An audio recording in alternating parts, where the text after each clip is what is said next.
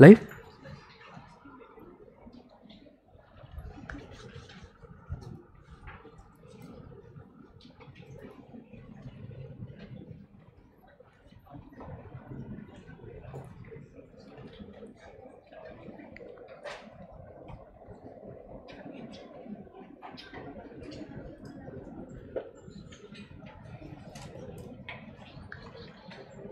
Background change करना।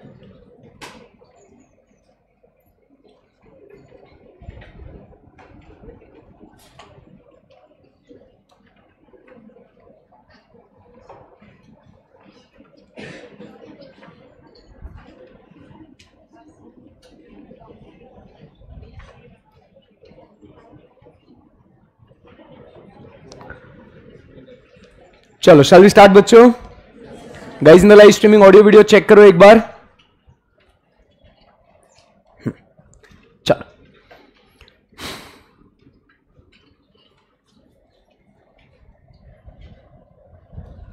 Okay hi guys good morning energy energy come on ठीक है, दो लेक्चर हो गए, कोई बात नहीं। है ना? हिम्मत मत हारो यू कैन डू इट अभी तो शुरुआत ही है वापस एक बार ट्राई करते हैं। हाय गाइस गुड मॉर्निंग ये हुई ना बात जोरदार। सो so, दोस्तों सबसे पहले आप मुझे जानते हो मैं कौन हूँ? नहीं जानते? कोई बात नहीं सर बता दो फिर भी कौन हो आप। तो uh, मैं हूँ C A Harshad Jaju. C A important है। ठीक है। नहीं क्यों मैं बोल रहा हूँ? क्योंकि आपको अभी समझ में आएगा कि सी ए बनने में ना बहुत मेहनत है। आज डे वन है you are very excited fully pumped up है। ठीक है?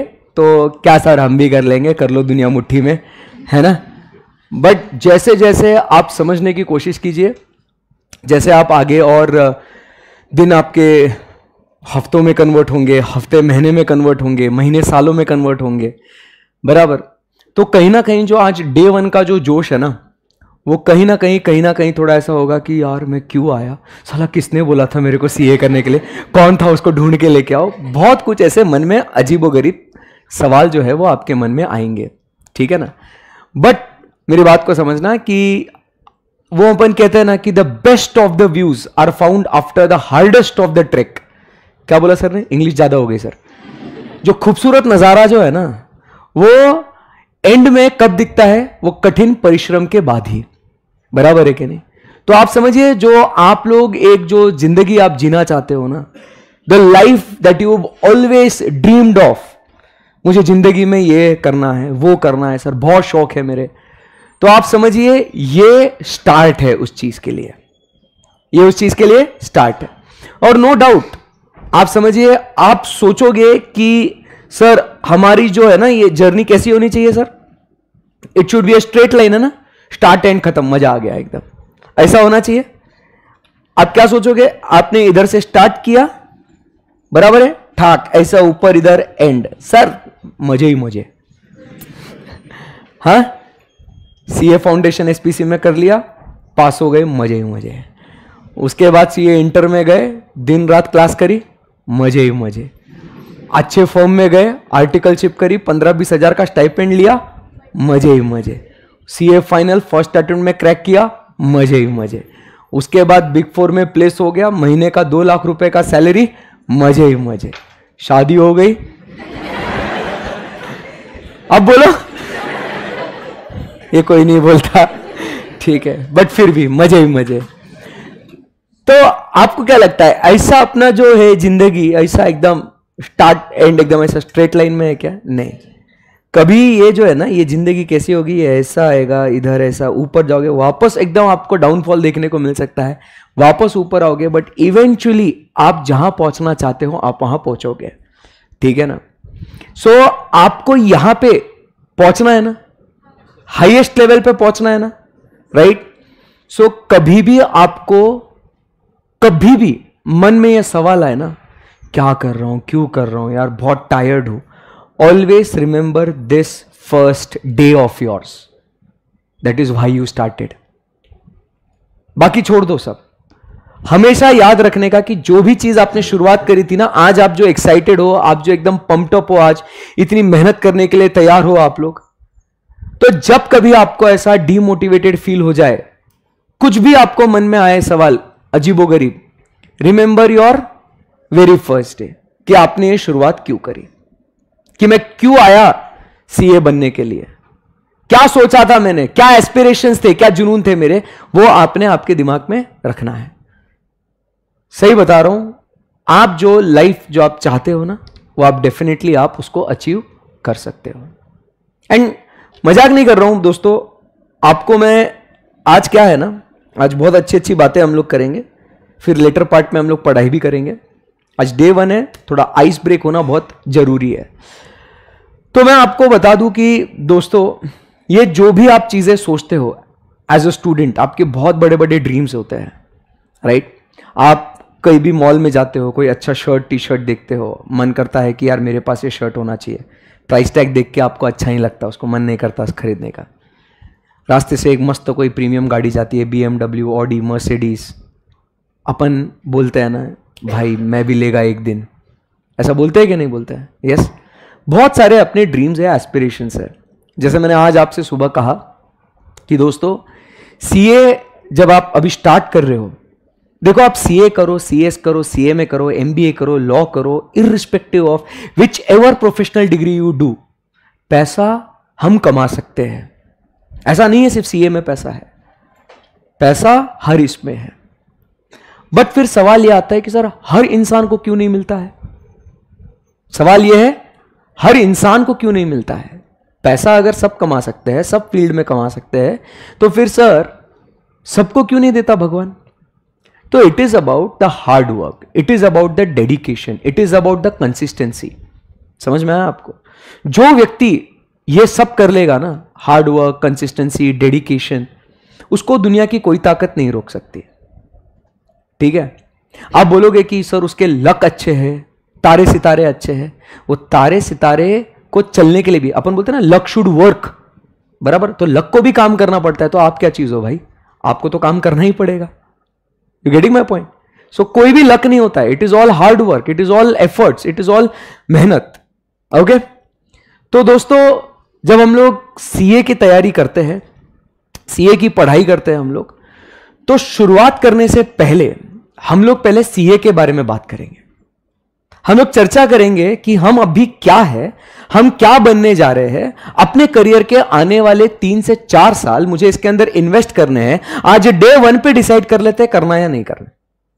फिर जब कल से मैं टॉर्चर शुरू करूँगा ना, फिर बोलना नहीं और सर, नोको ना, छोड़ो ना प्लीज़ ना। ऐसा नहीं होना चाहिए फिर। आज ही डिसाइड कर लेते हैं। एक तो ऑल इन या तो ऑल आउट चलेगा। फिर आप डिसाइड कर लेंगे। क्या होता है ना, बहुत बच्चे जो आते हैं ना, दोस्त कर रहा है इसलिए, चल भाई मैं भी कर लेता हूँ, क्या फ़र्क पड़ता है, देख लेते हैं। सही है एकदम। फिर मम्मी पापा ने बोला, मेरा बेटा तो सीए बनेगा, मेरी बेटी तो सीए बनेगा। ताऊ, मामा, फूफा, इन्होंने बोल दिया कि, बेटा, तू सीए कर, बहुत स्कोप है। ठीक है ना? But most of the times क्या होता है ना, हमें पता ही नहीं होता है कि ये सीए क्या करता है, कौन होता है, क्या मेहनत लगती है इसके अंदर वी डोंट नो और फिर क्या हो जाता है? अंदर तो आ गए। अब बीच में अटक गए। बाहर जाओ तो टाइम वेस्ट अंदर रहो तो पता नहीं बाहर कब निकलेंगे। समझ में आ रहा है आपको? तो इसीलिए डे वन पे ही क्लैरिटी आना बहुत ज़रूरी है कि what am I what am I going to become do I really want to become that is the very important question तुम समझ में आ रहा है क्या? आज ये आपका जो सेशन होगा ना इकोनॉमिक्स का moreover it is going to be like a orientation समझ में आ रहा है आपको? तब जाके हम लोग को समझ में आएगा आगे क्या चीज़ है। ठीक है? सबसे पहले, आपसे मैं कुछ अच्छी अच्छी बातें मैं करना चाहूँगा। ठीक है दोस्तों? मुझे यह बताओ दोस्तों कि ये जो चार्टेड अकाउंटेंट है, भाइयों बहनों, ये जो चार्टेड अकाउंटेंट है, ये आपके हिसाब से हम लोग क्या बनने वाले आपने क्या बोला था? क्या बोला था? वापस बोलो। सीए, चार्टर्ड अकाउंटेंट, क्या बात है? ये चार्टर्ड अकाउंटेंट का मतलब मैं आपको बताता हूँ। चार्टर्ड, पता है क्या होता है मतलब उसका? पता है आपको? अभी अपन, अभी बात सीए में, अभी तुम्हारा मन तो है ना सीए का? इसलिए तो बैठे हैं ना, सर। बराबर है। और जो अभी 1100 लोग जो लाइव देख रहे हैं, उनको भी बता दूँ। कि भैया सीए जो करना है तो चार्टर्ड का मतलब क्या है दोस्तों? चार्टर्ड लो भैया सीए बनना है। ये नाम का मतलब क्या है बॉस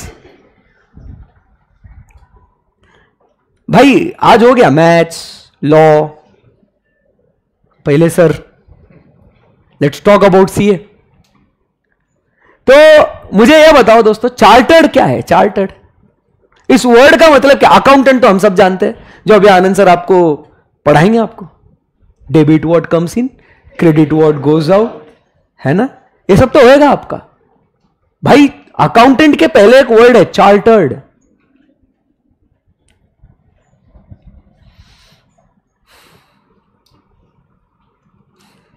इतना सन्नाटा क्यों है भाई? सुनो गौर से। हाँ? वॉट प्राइवेट चार्टर फ़्लाइट की बात कर रहे क्या अपन? प्राइवेट मने प्राइवेट है?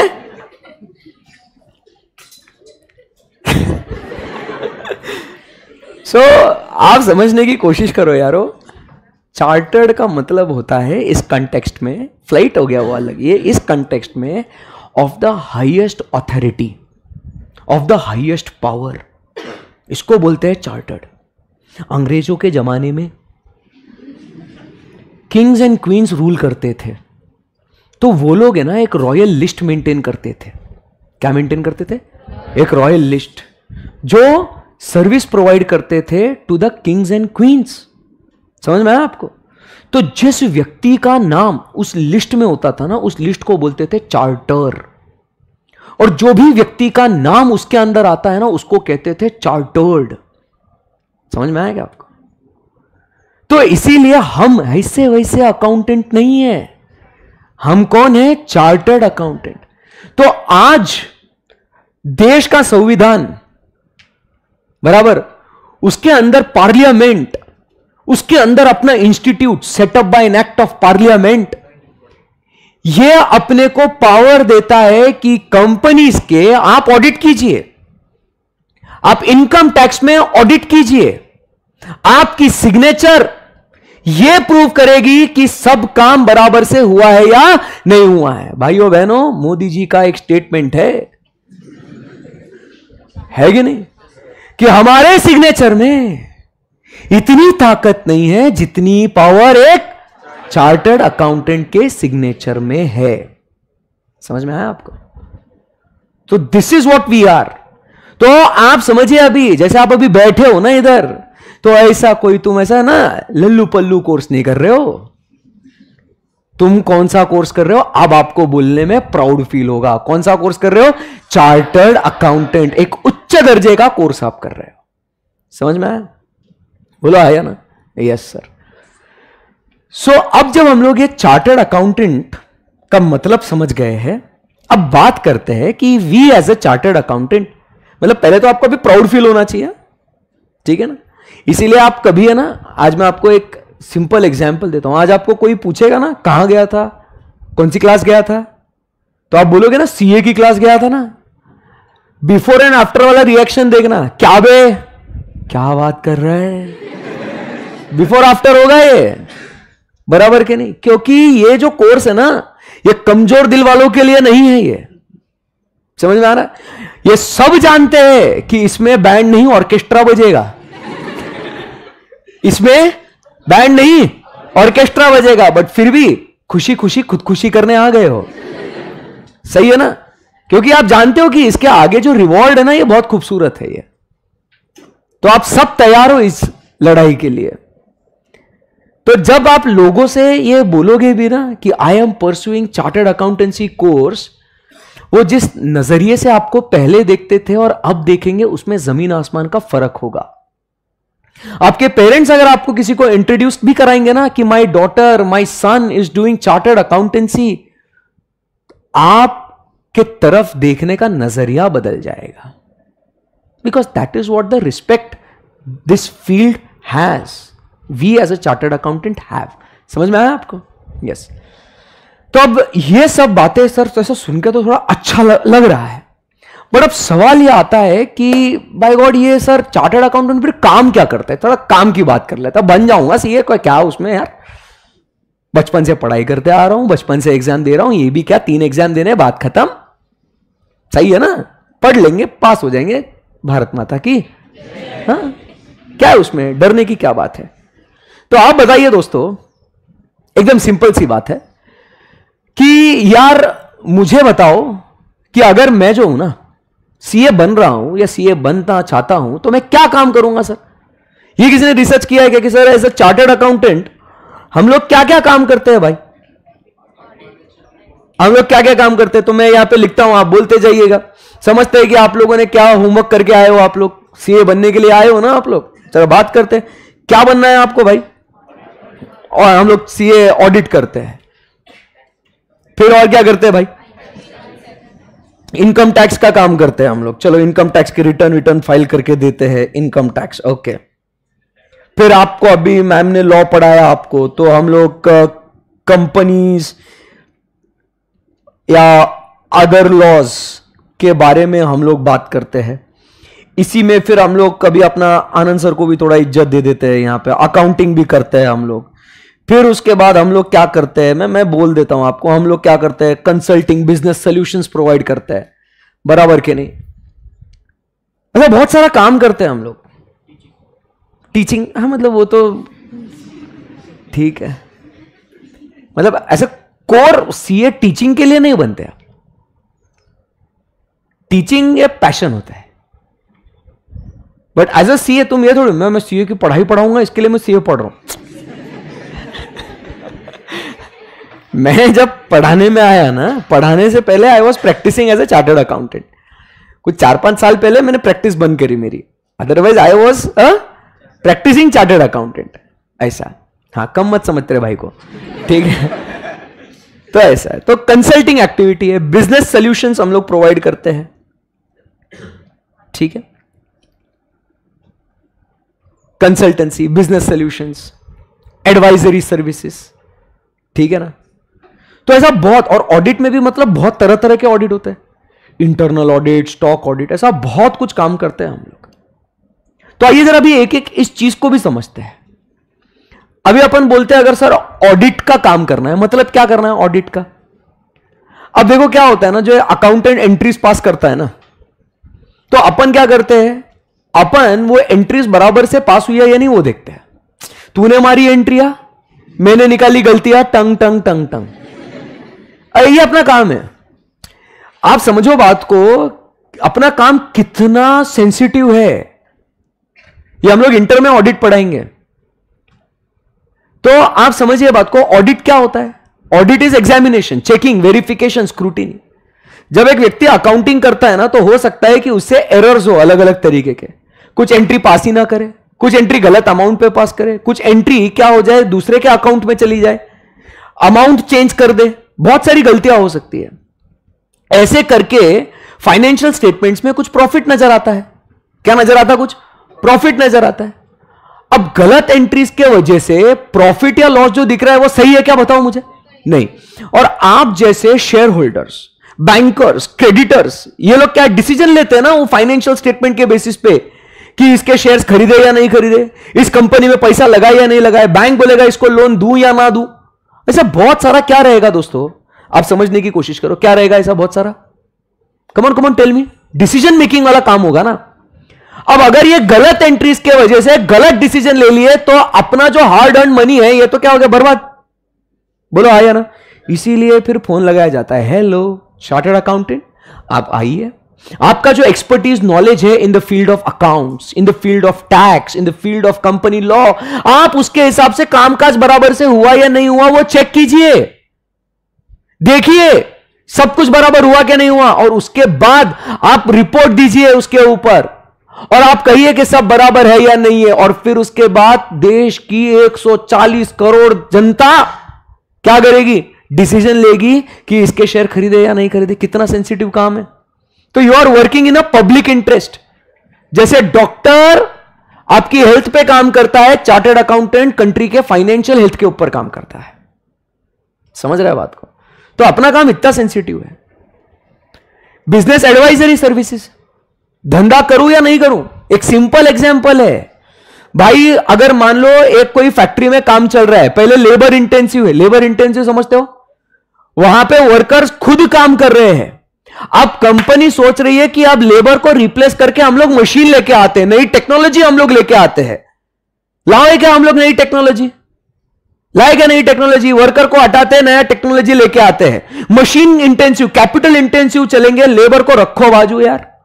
बहुत छुट्टी मारते हैं स्ट्राइक पे जाते हैं, बहुत चिक चिक करते हैं बाबा। मशीन लेके आओ मशीन को कोई रेस्ट नहीं चाहिए, कोई ओवर टाइम का पैसा नहीं देने का बोनस नहीं मांग रहा है। वो लोग करेगा? कंपनी को ऐसा डिसीज़न भी लेना है ना, वो आपके पास आएगा, बताओ। बोलेगा, सीएस साहब, जरा कॉस्ट बेनिफिट एनालिसिस करके दो मुझे। क्या बोला सर ने?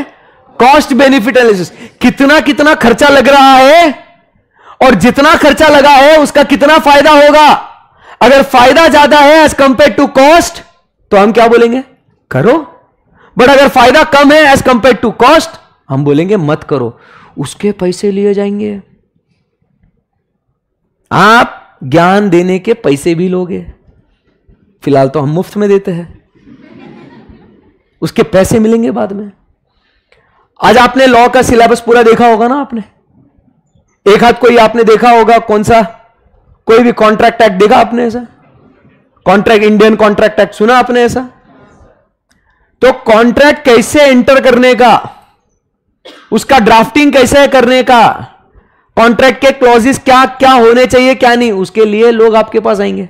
पार्टनरशिप एक्ट सुना आपने? क्लाइंट आएगा, भाई, मेरे को बिज़नेस शुरू करने का है, पार्टनरशिप बनाने का है, कैसे बनाऊँ रे मैं? तेरा भाई है ना, टेंशन मत ले।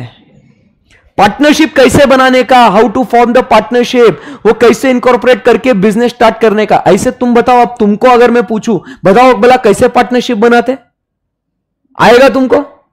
नहीं आएगा ना? फिर ये जब तुम पढ़ोगे तब तुम आगे बढ़ोगे।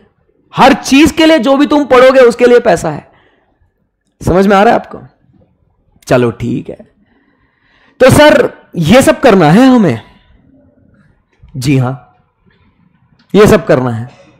तो आपको जितना भी नॉलेज मिलेगा, उससे आपको लोगों को कंसल्टेशन देना है। इनकम टैक्स की बात करेंगे भैया। Income tax GST indirect taxes बताओ लोग जैसा पैसा बढ़ता ना इंसान के पास, पहले भाग के आता सीए के पास। हम्म। जिस समय पे किसी भी व्यक्ति के पास ज़्यादा पैसे आने लग जाए ना, संभलता नहीं है उससे। कैसे तो भी मतलब वो हेल्दी प्रॉब्लम हो जाती है उसकी। प्रॉब्लम है बटो कैसी? बहुत पैसा है। यार, क्या करूँ यार इस पैसे का? यार, सरकार टैक्स मांग लेगी यार मेरे से। क्या करूँ मैं इतने पैसे का? कौन मुझे सही राह दिखाएगा? मेरा मार्गदर्शन करिए प्रभु। कौन है ये? चार्टर्ड अकाउंटेंट हम सब जो है ना, हम चले जाते पूजा मैम के पास। पूजा मैम मालूम आपको? टैक्सेशन पढ़ाती है वो। हमको कुछ भी दर्द रहा, मैम प्रैक्टिसिंग है चार्टर्ड अकाउंटेंट है टैक्स पढ़ाती है इतने सालों से। मैम, जरा बताइए टैक्स कैसे बचा है यार थोड़ा? सोचो, एक इंपॉर्टेंट अगर मैम ने कुछ टैक्स में का कुछ पॉइंट बता दिया बोले, ऐसा ऐसा करो तो आपका है ना, एक लाख का टैक्स बच जाएगा। क्या बात कर रहे हैं मैम हाँ बट उसका आपको तीस, चालीस हज़ार रुपए फ़ीस देना पड़ेगा ना। अरे खुशी खुशी ले लो भाई। समझ में आ रहा है आपको? तो आप लोगों का टैक्स सेव कर सकते हो by law not by breaking the law within the law लोगों को कानून नहीं पता होता है। हम इतना कानून पढ़ते हैं, समझते हैं, तब जाके अपनी वैल्यू जो है वो बढ़ती है। अब वैल्यू की बात करी तो सर ऐसा कितना कमा लेते होंगे भैया? अब चलो ठीक है, काम समझ में आ गया। अभी कोई बच्चे बोलेंगे, या कोई दीदी आप बोलेंगी यहाँ पे this is not my cup of tea I will not like to do this मैं इसके लिए नहीं बनी हूँ, मैं तो पापा की परी हूँ। मैं ये सब गलतियाँ नहीं निकालूँगी। मे बी बराबर। ऐसा हो सकता है तो ऐसा कितना पैसा कमा लेते होंगे? क्योंकि मैंने सुबह भी कहा था आपसे। सबसे बड़ा मोटिवेशन इज़ विटामिन एम अब ये सब काम तो कर लिया, काम देख लिया। इस काम का दाम भी समझते हैं। हम कितने कमा लेते होंगे बच्चों पैसे? ये एक बहुत बड़ा पॉइंट है। और फिर यहाँ से आप लोग डिसाइड करोगे कि भैया सीए करना है या नहीं करना। कितने पैसे मिलेंगे?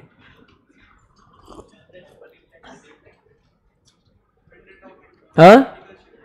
डिपेंड अपॉन आर्टिकलशिप या ऐसे, मेरा एक दोस्त है, एकदम जिगरी दोस्त है। ठीक है ना? भाई, उसने बीकॉम तक नहीं करी है। एकदम स्मॉलेस्ट फर्म में से उसने आर्टिकलशिप करी हुई है। आज वो one of the big four में मैनेजर है। उसका महीने का पैकेज जो है, वो चार से पाँच लाख रुपए है। तो कहाँ से आर्टिकलशिप या क्या? वो वो बहुत दूर की बात है। वो इंटर में आओगे ना, तब वो ज्ञान पे लूँगा आपको। वो इंटर के लिए रखेंगे। अभी इतने से नन्नी सी जान के लिए इतना नुको। नहीं तो यहाँ से बाहर से रेंगते हुए जाओगे। भाई, क्या बोल दिया यार सर ने? माँ कसम। सिस्टम हैंग हो गया। यस सो बताइए। तो मैं बता रहा हूँ यू क्वालिफाई रिसेंटली जो इंडस्ट्री में आपका जो रेट है, ये कम से कम लाख रुपए है हर महीना मिनिमम पचास हज़ार से एक लाख रुपए में आपको आराम से एज अ फ्रेशर क्वालिफाइड व्यक्ति को इतना सैलरी मिलता। क्योंकि सर छः आठ, दस टक्का दस टक्का पकड़ लो, दस टक्का परसेंट रिज़ल्ट लगता है। तो डिमांड एंड सप्लाई अभी हम लोग पढ़ेंगे। आप समझेंगे कि डिमांड बहुत ज़्यादा है इंडस्ट्री में सप्लाई बहुत कम है।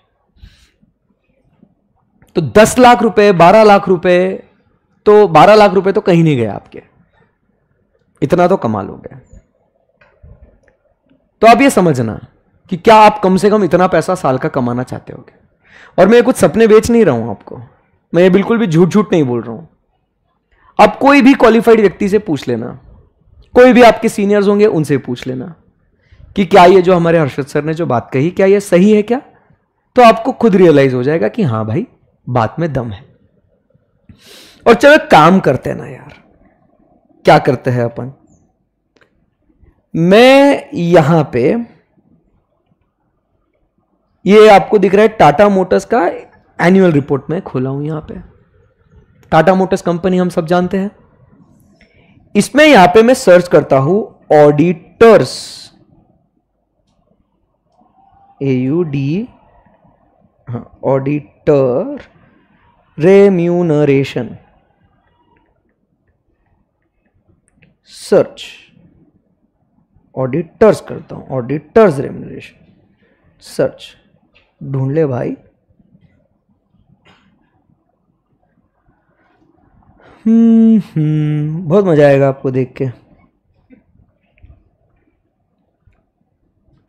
कि ये कितना पैसा ये लोग देते होंगे ऐसे सर्च करता हूँ रेम्यूनरेशन रेम्यूनरेशन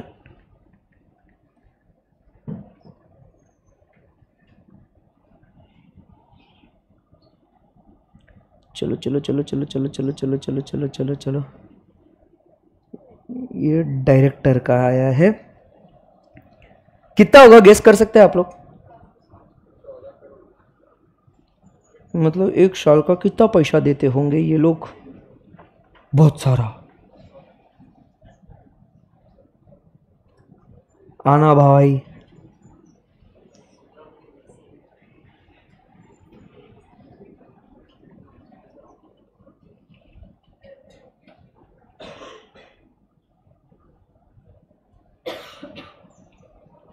हम्म। दिख रहा है आपको? ऑडिट फ़ी एक्सक्लूडिंग जीएसटी हाँ साहब। ऑडिट फ़ी क्या लिखा हुआ है? एक्सक्लूडिंग जीएसटी तो भाइयों, बहनों, कितना है? टेंग डेंग डेंग डेंग डेंग उई, साढ़े पाँच रुपए। दो रुपए, पचास पैसे।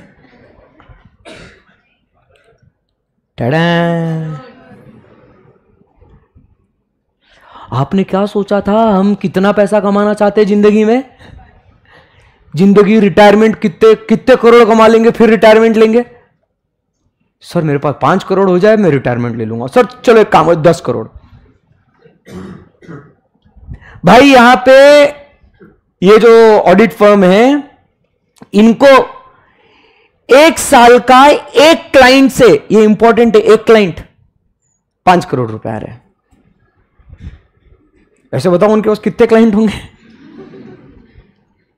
ऐसे आपने पाँच, दस क्लाइंट भी ले लिए सेट है ज़िंदगी। तो क्या सर, हम लोग पैसे कमा सकते हैं इतने? क्या हम लोग ये जो ड्रीम्स हम लोग जो देख रहे हैं ज़िंदगी में जो हमको बनना है, क्या ये हम लोग अचीव कर सकते हैं? आपके सामने है। ऐसे मैं कुछ झूठ नहीं बोल रहा हूँ, ये फैक्ट है, ये सामने है ये। और जैसे मैंने कहा ना आप एक अच्छा फर्म से आर्टिकलशिप भी करते हो तो आपका स्टार्टिंग पंद्रह बीस हज़ार रुपए आपका स्टाइपेंड है जितना लोगों का सैलरी होता है। सोचिए आप 19 साल की उम्र में आपको बीस हज़ार रुपए स्टाइपेंड मिल रहा है। वाह यार। सो so, क्या लग रहा है? इज़ इट फन सीए बनना है क्या? साउंड्स गुड और रहने यार इतने पैसे नहीं चाहिए मेरे को। क्या है? सब मुँह है ये क्या बोलते पब्लिक ऑल गुड ना? बहुत अच्छा लग रहा है। मैं आपको बता दूँ कि जब मैं सीए स्टार्ट कर रहा था ना, ऐसे आपके जैसे ही मैं ऐसे बैठा था क्लास में। एक टीचर भी तो कभी स्टूडेंट था। सही है ना एकदम? तो मैं भी आपके जैसे ही बैठा था। और मेरे भी ऐसे बहुत सारे एस्पिरेशंस बहुत सारे ड्रीम्स थे, जो given my family's financial background it was not good तो मैं ये जो चीज़ें सोच रहा था ना, वो कवरेज क्षेत्र के बाहर थी। It was out of coverage area जिस उपभोक्ता से आप संपर्क करना चाह रहे हैं, वो कवरेज क्षेत्र के बाहर है। नहीं था। दोस्त लोग मूवीज़ को जाते थे कॉलेज से। आपको अभी पता ही होगा कि कभी भी कुछ भी बोर हो गया, नई मूवी आई। तो जो दोस्त एकदम ऐसा बिग शॉट रहते उठे सूठे प्लान बनाते, चल भाई मूवी चलते, चल भाई घूमने चलते हैं चल भाई होटल में खाना खाने चलते हैं भाई चल क्लब चलते पार्टी करते। हैं है ना? होंगे ना ऐसे दोस्त आपके कुछ? यस पर अपन क्या सोचते हैं? यार, इतने पैसे तो नहीं है बाबूजी के पास जाऊँगा, मांगूँगा पैसे तो बोलेंगे, अभी तो दिए थे दस साल पहले। फिर आ गया मांगने के लिए। तो पापा मम्मी नहीं देते यार पैसे इतने। एंड मेरे साथ भी सेम था सिचुएशन बट मन में इच्छाएँ तो बहुत थी. तो मैं भी सोचता था, ऐसे सीए बनूँगा ना, देखो फिर कर लो दुनिया मुट्ठी में. सब सब चीज़ें पूरी करूँगा. एंड ट्रस्ट मी जब मैं सीए क्वालिफाई हुआ ना, मेरा फ़र्स्ट ईयर ऑफ़ प्रैक्टिस मैं फैक्ट बोल रहा हूँ. मेरा फ़र्स्ट ईयर ऑफ़ प्रैक्टिस मेरा फ़र्स्ट क्लाइंट उसने हमको कितना फ़ीस दिया होगा? आठ लाख रुपए। हम दो पार्टनर्स थे। एक क्लाइंट आठ लाख रुपए। मेरी उम्र 21 साल की मैं 21 वन ईयर्स ऑफ़ एज में मैं सीए बना मैं। I qualified when I was at the age of 21 me and Ankita ma'am, हम लोग बैचमेट्स हैं हम लोग।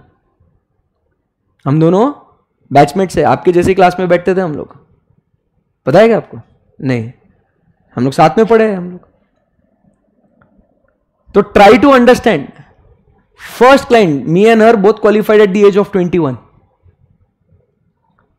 तो आप समझने की कोशिश कीजिए 21 साल की उम्र में मेरे पास चार लाख रुपए आ गए, मैं थर थर काँप रहा हूँ ऐसे। अरे, इतना पैसा कहाँ से आ गया भाई?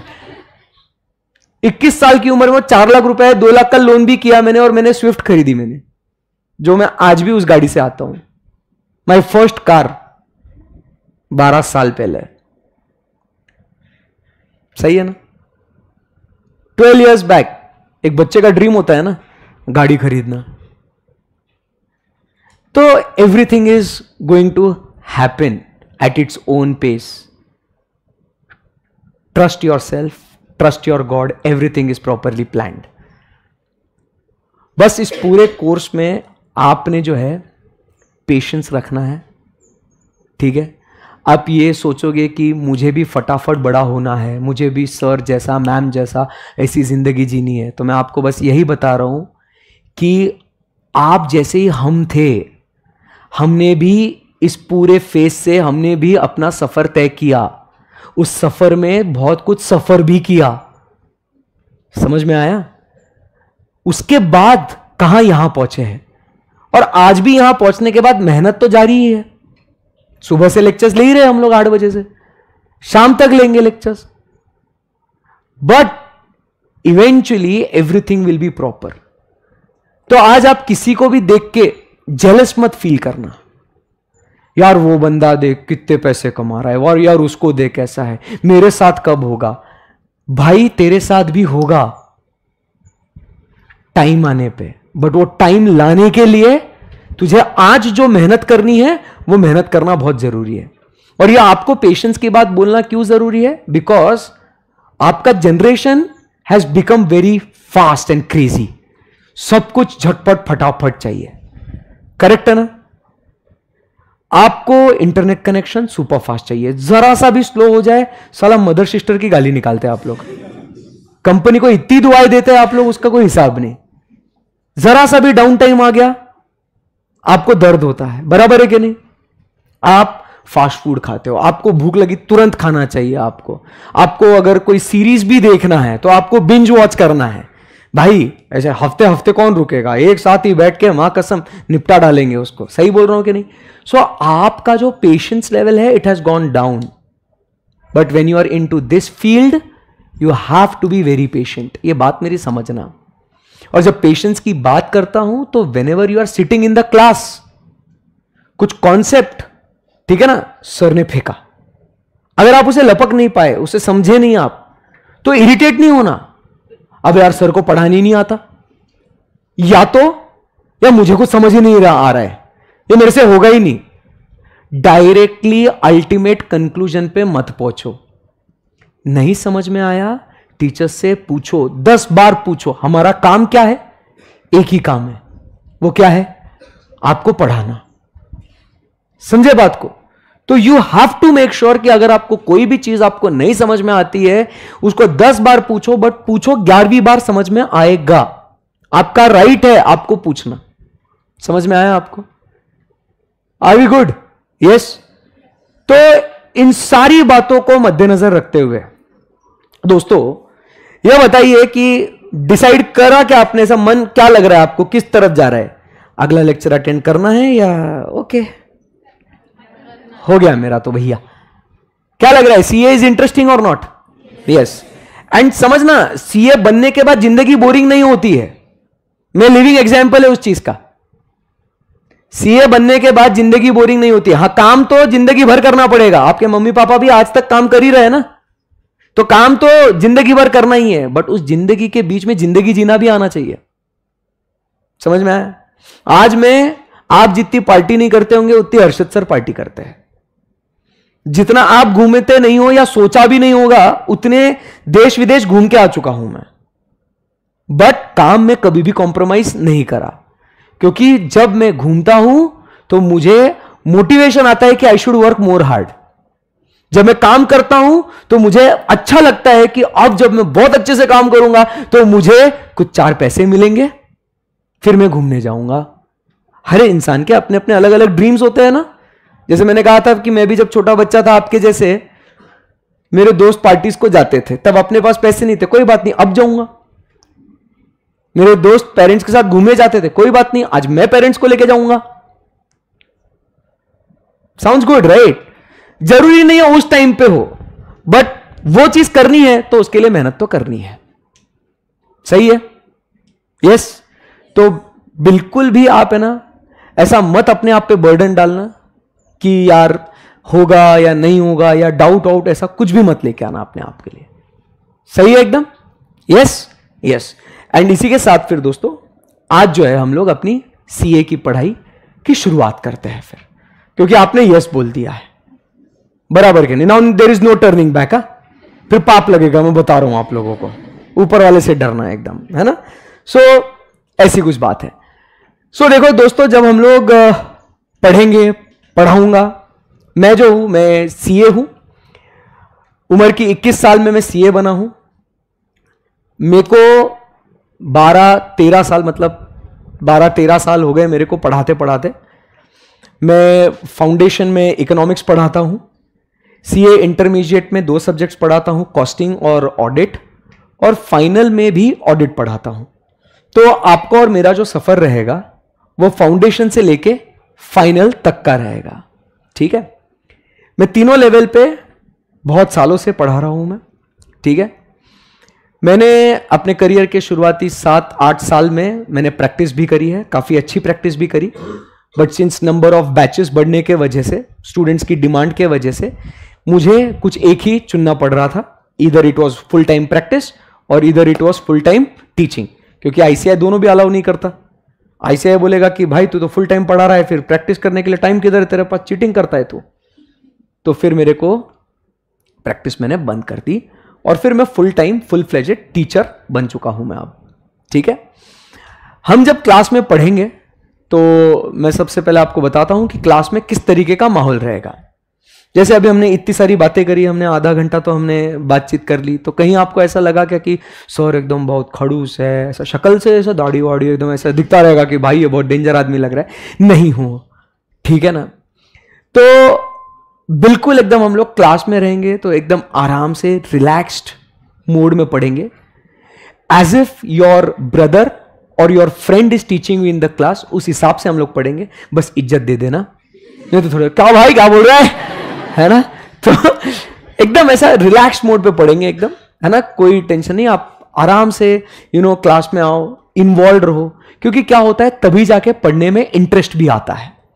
एकदम वो स्ट्रिक्ट वाला माहौल बना ना तो जैसे मैंने कहा ना, कि आप न्यू जमाने के हो, नए एज के हो तो आपको ये सब ऐसा स्ट्रिक्ट वाला माहौल वगैरह मुझे खुद को पसंद नहीं आता था जब मैं स्टूडेंट था। बहुत दुआई दी मैंने टीचर को क्लासेस में तो मैं वो दुआई नहीं चाहता हूँ आपसे। ठीक है? तो इसीलिए द माहौल विल बी वेरी लाइट ठीक है ना? सो so, एकदम आराम से पढ़ेंगे। But at the same time जो अपना गोल है जो अपना इंटेंशन है जो अपना मिशन है उसको हम लोग नहीं भूलेंगे ठीक है ना? कभी भी किसी भी वक्त आपको ऐसा क्लास में दौरान आपको ऐसा लगता है कि सर मेरे से नहीं हो पा रहा है। मला कसं तरी होता है। है ना? कुछ कुछ होता है तुम नहीं समझोगे। तो कभी भी ऐसा किसी भी वक्त आपको लगता है यू फील डिजी टायर्ड तो at least in my class you can go out एक दो मिनट घूम के आ जाओ, वापस आ जाओ, बैठ जाओ। थोड़ा फ्रेश रिलैक्स लगेगा, आ जाओ, बैठ जाओ।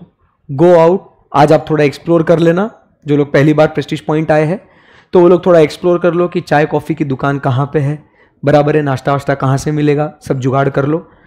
तो कभी भी आपको ऐसा लगा कि यार लेक्चर अब थोड़ा बहुत हैवी हो रहा है you can go out get a cup of coffee और a tea for you sit in the class sip it enjoy the show समझ में आया? बट आप समझिए, अपने को लेक्चर मिस नहीं करना है, अपने को कॉन्सेप्ट नहीं मिस करना है। ये लिबर्टी मैं क्लास में क्यों देता हूँ? क्योंकि भाई फिजिकली क्लास में बैठ के मेंटली एबसेंट होना बहुत डेंजरस है। समझ में आ रहा? इससे अच्छा तो दो मिनट का लेक्चर मिस कर ले बट बचे हुए जो एक घंटा है, वो तो अपन कवर कर सकते हैं ना। समझ में आया? तो इस हिसाब से हम लोग पूरा जो जर्नी है, ये आराम से हम लोग कवर करेंगे। जब हम लोग पढ़ाने की बात करते हैं, मैंने तो बता दिया कि किस तरीके से पढ़ेंगे हम लोग। तो एकदम लाइट माहौल रहेगा। जब कॉन्सेप्ट हम लोग डिस्कस करेंगे तो practical examples real life examples से हम लोग कनेक्ट करेंगे। सारी चीज़ें हम लोग डे इन डे आउट जो क्या हो रहा है अपने इकोनॉमी में, उससे कनेक्ट करके कॉन्सेप्ट को बिल्ड करेंगे। ताकि हम लोग प्रैक्टिकली जो हो रहा है प्लस जो किताब में है, उसको हम लोग मैच करके दिमाग में रिटेन कर सके। समझ में आया आपको? बोलो हाँ या ना? इसके लिए आपको क्लास में जब आप आओगे तो आपको कम से कम दो तीन कलर पेन्स लेके आने पड़ेंगे मेरे क्लास में। देखो लाइफ वैसे ही ब्लैक एंड वाइट है। नोट्स कम से कम कलरफुल बना लेते हैं। तो एक तीन चार कलर के पेन्स लेके आना, एक दो कलर के हाइलाइटर्स लेके आना, ठीक है? स्टिक नोट्स लेके आना, ठीक है? कैलकुलेटर्स लगेंगे अपने को। इकोनॉमिक्स में भी ज़रूरत पड़ती है कैलकुलेटर की, क्या बात कर रहे हैं? हाँ ना यार।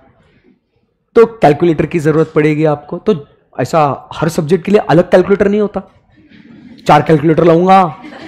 हाँ फुल पढ़ाई। ऐसा नहीं होता है।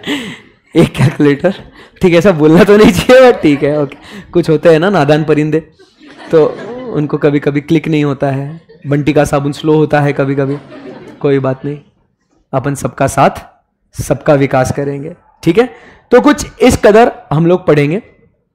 राइट यस तो आशा करता हूँ, उम्मीद करता हूँ कि आप लोगों को जो भी करना है फ्यूचर में सीए ये एकदम अच्छे से डिसाइड करके ही करना। क्योंकि क्या होता है, कुछ चीज़ें ज़बरदस्ती करी हुई और खुद से करी हुई, मज़ा किसमें आता है? जो हम खुद से डिसीज़न लिया वो कोई आपको फोर्स करे, कोई इंसिस्ट करे, फिर उसके बाद आप आ रहे हो। तो सबसे पहले तो शुरुआत जो होगी ना, आठ बजे लेक्चर में आऊँ क्या? वहाँ से शुरुआत हो जाएगी आपकी। And once you start missing the lectures ना, बराबर है, फिर वो दर्द बहुत मतलब दर्द डिस्को है वो तो फिर। ठीक है? यस तो सिलेबस क्या है? क्या नहीं है? कितने चैप्टर्स हम लोग पढ़ने वाले हैं? इस सब के बारे में हम लोग बातचीत करेंगे कल शुरुआत के दस मिनट में। इलेवेंथ मिनट पे मैं प्रवचनबाजी चालू कर देगा। बहुत मज़ा आएगा हम लोग को पढ़ने के लिए। ठीक है? और फिर हम लोग डे वन से ही मतलब that will be tomorrow will be technical today is day zero I call this day as what day zero this is you know ice breaking आप मुझसे पहली बार मिल रहे हो। मैं आपसे पहली बार मिल रहा हूँ। थोड़ा हम लोग समझ लेते हैं ना। बराबर।